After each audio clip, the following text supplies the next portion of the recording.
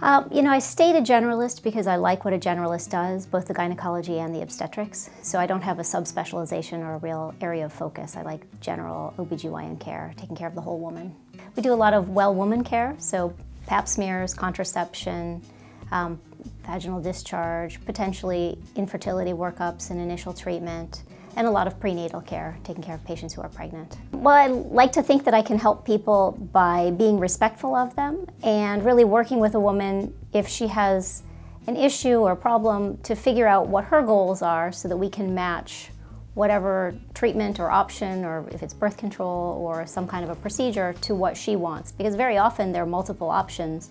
and many times women don't know all of the choices that they have so really being able to have a conversation about what she's looking for and what's, what sounds best for her.